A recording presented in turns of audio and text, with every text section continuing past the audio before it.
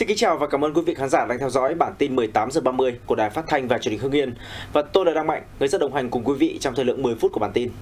Bản tin cũng đang được phát trực tuyến trên các nền tảng số, ứng dụng Hưng Yên TV Go, trang fanpage tin tức Hưng Yên 24 trên 7 gạch ngang HDTV. Sáng nay, đoàn công tác Ban dân vận Trung ương làm việc với Thường trực tỉnh ủy Hưng Yên. Tiếp và làm việc với đoàn có đồng chí Nguyễn Hữu Nghĩa, Ủy viên Ban chấp hành Trung ương Đảng, Bí thư tỉnh ủy Hưng Yên. Sau 5 năm triển khai thực hiện quyết định số 99 năm 2017 của Ban Bí thư Trung ương và quyết định số 1158 của Ban Thường vụ tỉnh ủy năm 2018, cấp ủy từ tỉnh đến cơ sở đã tổ chức 342 cuộc kiểm tra, 325 cuộc giám sát. Ban Thường vụ tỉnh ủy trực tiếp kiểm tra đối với 193 đảng viên, thi hành kỷ luật 4 trường hợp. Vai trò nêu gương của người đứng đầu được phát huy, luôn cầu thị lắng nghe ý kiến, thực thi công vụ, có sự giám sát của nhân dân. Phó trưởng ban dân vận Trung ương Nguyễn Lam ghi nhận và đánh giá cao sự chủ động quán triệt và triển khai thực hiện kịp thời, nghiêm túc quyết định số 99 của Ban Bí thư tại tỉnh Hưng Yên. Đồng thời, khẳng định những ý kiến góp ý trao đổi thực tiễn tại Hưng Yên là cơ sở quan trọng để ban dân vận đánh giá kết quả thực hiện quyết định tại cơ sở, từ đó đề ra những giải pháp lãnh đạo chỉ đạo trong thời gian tới. Cũng trong sáng nay, Hội đồng nhân dân tỉnh Hưng Yên khóa 17, nhiệm kỳ 2021-2026 tổ chức kỳ họp thứ 9 để xem xét quyết định một số nội dung đáp ứng yêu cầu điều hành phát triển kinh tế xã hội thuộc thẩm quyền của Hội đồng nhân dân tỉnh. Đồng chí Trần Quốc Toản, Phó Bí thư Thường trực tỉnh ủy, Chủ tịch Hội đồng nhân dân tỉnh chủ trì kỳ họp. Dự kỳ họp có đồng chí Trần Quốc Văn, Phó Bí thư tỉnh ủy, Chủ tịch Ủy ban dân tỉnh, 8 tháng năm 2022, chỉ số sản xuất công nghiệp tăng 10%, thu ngân sách đạt trên 44.000 tỷ đồng, tăng 254% so với cùng kỳ năm 2021 và vượt 127% kế hoạch. Tuy nhiên, trong quá trình thực hiện phát triển kinh tế, xã hội, quốc phòng an ninh, trên địa bàn vẫn gặp rất nhiều khó khăn trong quản lý, điều hành, cần được tháo gỡ để tổ chức thực hiện được phù hợp, đạt hiệu quả. Kỳ họp thứ 9 Hội đồng nhân dân tỉnh thông qua 32 nghị quyết, trong đó có 28 nghị quyết liên quan đến điều chỉnh và phê duyệt chủ trương đầu tư các dự án. Đây là những nghị quyết có ý nghĩa quan trọng đối với sự phát triển trước mắt và lâu dài của tỉnh. Sáng nay, tại Trung tâm Hội nghị tỉnh, Đại hội đại biểu Phật giáo Việt Nam tỉnh Hưng Yên lần thứ 6, nhiệm kỳ 2022-2027 đã chính thức khai mạc. Dự đại hội có Hòa thượng Thích Thành Dũng, Phó Pháp chủ, Tránh thư ký Hội đồng chứng minh Giáo hội Phật giáo Việt Nam. Nhiệm kỳ qua, Giáo hội Phật giáo Việt Nam tỉnh Hưng Yên luôn tận tâm, tận lực xây dựng giáo hội ngày càng phát triển, đồng thời chấp hành tốt pháp lệnh tín ngưỡng tôn giáo, duy trì hai cơ sở an cư kết hạ tại chùa Táo thành phố Hưng Yên và chùa Pháp Điện xã Lạc Hồng huyện Văn Lâm với khoảng 300 hành giả tham gia mỗi năm.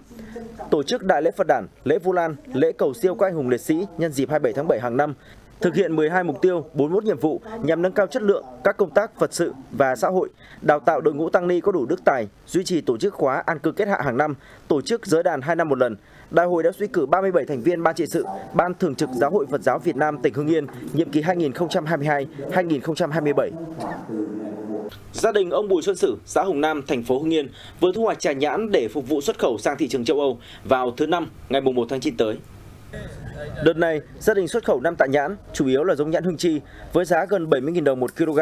Để xuất khẩu nhãn quả tươi sang thị trường Cộng hòa Liên bang Đức, đòi hỏi ngoài sản xuất theo quy trình hữu cơ gắn tem truy xuất nguồn gốc, thì tất cả 821 mẫu sau khi gửi đi phân tích đều đạt tiêu chuẩn xuất khẩu. Được biết, nhãn thu hoạch xong sẽ cắt rời quả qua các công đoạn sơ chế, khử nấm mốc, làm sáng bề mặt, ngâm rửa, soi đèn chiếu để phát hiện và loại bỏ sâu, dẹp sáp, bảo quản rồi đóng hộp. Hoàn tất các công đoạn, nhãn được vận chuyển bằng đường hàng không vào ngày 1 tháng 9 tới và sẽ được bày bán tại hệ thống siêu thị của nước bạn sau 6 đến 8 tiếng vận chuyển và bảo quản ở nhiệt độ thích hợp rồi đóng hộp. Trong tháng 8, các lực lượng chức năng thành viên Ban chỉ đạo 389 tỉnh Hưng Yên đã kiểm tra, xử lý hành chính 53 vụ vi phạm buôn lậu, gian lận thương mại và hàng giả với tổng số tiền phạt trên 315 triệu đồng, tăng 34 vụ và tăng trên 100 triệu đồng so với tháng trước. Trong đó có hai vụ buôn bán hàng cấm, hàng nhập lậu, 48 vụ gian lận thương mại và 3 vụ hàng giả. Hàng hóa nhập lậu vi phạm chủ yếu là thuốc lá điếu, gạch men, hóa mỹ phẩm các loại, giày dép, kính mắt, đồng hồ. Đặc biệt trong tháng, lực lượng quản lý thị trường đã kiểm tra phát hiện và thu giữ khối lượng hàng hóa vi phạm trị giá trên 300 triệu đồng của ông Phạm Xuân Hoàng ở Kim Lũ, Phù Ủng, Ân Thi, gồm 4.000 chai serum dưỡng tóc, gần 7.000 chai dầu gội phủ bạc giả nhãn hiệu Sinhe. Tình trạng buôn bán hàng cấm, hàng nhập lậu, vận chuyển buôn bán hàng hóa giả mạo nhãn hiệu, hàng không rõ nguồn gốc trên địa bàn tỉnh tiếp tục được các lực lượng chức năng phát hiện. Ngày 29 tháng 8, Tổng cục Quản lý thị trường chỉ đạo khẩn lực lượng quản lý thị trường 63 tỉnh thành phố, đặc biệt là các cục quản lý thị trường khu vực miền Nam tăng cường kiểm tra, giám sát tình trạng một số cây xăng tại khu vực phía Nam có biểu hiện găm hàng không bán.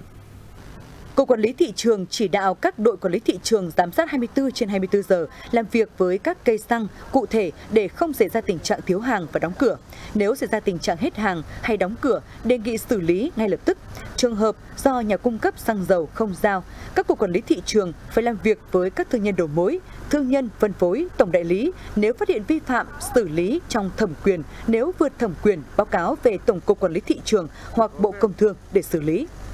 Tại các doanh nghiệp bán lẻ xăng dầu, nếu hết hàng khi kiểm tra, giám sát, phải đo bồn và đối chiếu hóa đơn mua bán hàng để xác định lượng hàng tồn kho. Nếu hết hàng do chủ quan của doanh nghiệp và các vi phạm khác phải xử lý nghiêm. Đảm bảo phải kiểm tra tất cả các vụ việc và cửa hàng bán lẻ thiếu hàng, hết hàng, đóng cửa. Theo thông tin từ Trung tâm Kiểm soát Bệnh tật Hà Nội, thành phố ghi nhận số ca mắc sốt xuất huyết tăng do thời tiết mưa, nắng ẩm, tạo điều kiện thuận lợi cho mũi truyền bệnh phát triển. Toàn thành phố ghi nhận gần 1.000 ca sốt xuất huyết tăng hơn 2 lần so với cùng kỳ năm 2021.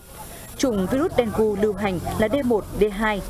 Các bệnh viện những ngày qua liên tục tiếp nhận nhiều bệnh nhân sốt xuất huyết nặng, trong đó Bệnh viện Bệnh nhiệt đới Trung ương đang điều trị gần 30 ca sốt xuất huyết, tăng hơn so với đầu tháng 8, trong đó gần 10 ca nặng. Qua giám sát trong 2 tuần đầu tháng 8 cho thấy chỉ số bọ gậy lăng quăng, ấu trùng mũi, mầm bệnh gây sốt xuất huyết tại một số khu vực đang cao vượt ngưỡng và đây sẽ là nguy cơ bùng phát trở thành ổ dịch sốt xuất huyết. Những ngày này, lực lượng cảnh sát quản lý hành chính về trật tự xã hội, công an các địa phương nơi có trại giam đóng quân đang nỗ lực hết mình để thu nhận dữ liệu căn cước công dân, hoàn thành cấp căn cước công dân cho các phạm nhân được đề nghị đặc xá tha tù trong dịp mùng 2 tháng 9 sắp tới. Tại nhiều địa phương, lực lượng cảnh sát quản lý hành chính về trật tự xã hội đang phối hợp với các đơn vị chức năng thu thập hồ sơ cấp căn cước công dân gắn chip cho người được đặc xá trong dịp mùng 2 tháng 9 tới. Cùng với công tác thu nhận hồ sơ cấp căn cước công dân lưu động cho các phạm nhân được đề nghị đặc xá, lực lượng cảnh sát quản lý hành chính về trật tự xã hội đã tuyên truyền giáo dục phổ biến pháp luật về luật cư trú cho các phạm nhân để khi trở về với cộng đồng, họ nắm rõ được các quy định của pháp luật, thực hiện quyền nghĩa vụ của mình.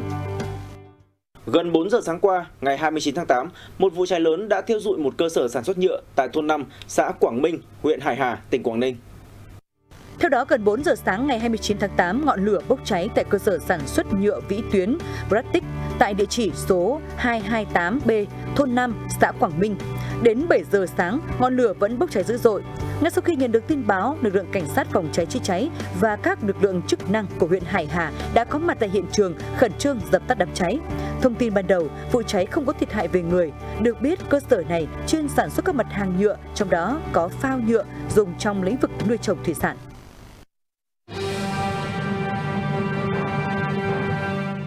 Chính phủ Singapore vừa giới thiệu một loại visa mới nhằm tăng cường thu hút lao động có trình độ cao. Theo chính sách visa mới, những người có mức thu nhập hàng tháng từ khoảng 21.500 đô la Mỹ trở lên có thể được cư trú tại Singapore trong vòng 5 năm. Vợ hoặc chồng của người sở hữu visa cũng có thể được lưu trú và lao động tại Singapore một cách hợp pháp. Loại visa mới được kỳ vọng tăng cường chất lượng cho lực lượng lao động của Singapore và qua đó giúp nền kinh tế của quốc đảo Sư Tử nhanh chóng phục hồi sau những ảnh hưởng tiêu cực của đại dịch Covid-19. Giới chức thành phố Thâm Quyến, tỉnh Quảng Đông, miền Nam Trung Quốc thông báo tạm dừng đóng cửa khu chợ bán thiết bị điện tử lớn nhất thế giới, Hoa Cường Bắc để ngăn chặn dịch Covid-19 bùng phát. Theo đó, ba tòa nhà chính trong khu chợ điện tử rộng lớn, bao gồm hàng nghìn quầy bán thiết bị vi mạch, linh kiện điện tử cũng như các phụ tùng khác cho các nhà sản xuất sẽ đóng cửa cho tới ngày 2 tháng 9. Một số nhân viên làm việc tại các khu chợ cho biết quản lý tòa nhà đã yêu cầu nhân viên làm việc tại nhà. Trong ngày 29 tháng 8, thành phố Thâm Quyến ghi nhận 9 ca mắc COVID-19 mới có triệu chứng và 2 ca mắc không có biểu hiện, được phát hiện qua xét nghiệm một ngày trước đó. Vừa qua tại Colombia, buổi hòa nhạc lớn nhất thế giới đã được tổ chức tại thành phố Bogota với sự tham gia của hơn 16.000 nghệ sĩ trên khắp thế giới. Buổi hòa nhạc được tổ chức tại công viên Simon Bolivar ở Bogota, phá vỡ kỷ lục thế giới về quy mô tổ chức với khoảng 16.000 nhạc sĩ, ca sĩ và dàn hợp xướng trẻ em tham gia. Sự kiện trên được tổ chức để tôn vinh báo cáo cuối cùng của Ủy ban Sự thật Colombia được công bố vào tháng 6 vừa qua về các vấn đề xung đột vũ trang, chính trị và xã hội tại Colombia. Quý vị và các bạn vừa theo dõi bản tin 18 giờ 30 của Đài Phát thanh và Truyền hình Hưng Yên. Quý vị có thể gửi những thông tin mới nhất cho chúng tôi qua các địa chỉ fanpage tin tức Hưng Yên 24 trên 7 gạch ngang HTV hoặc email thời sự gmail.com. Quý vị và các bạn có thể xem lại bản tin trên các nền tảng số của Đài Phát thanh và Truyền hình Hưng Yên như ứng dụng Hưng Yên TV Go, trang fanpage tin tức Hưng Yên 24 trên 7 gạch ngang HTV, kênh TikTok Truyền hình Hưng Yên.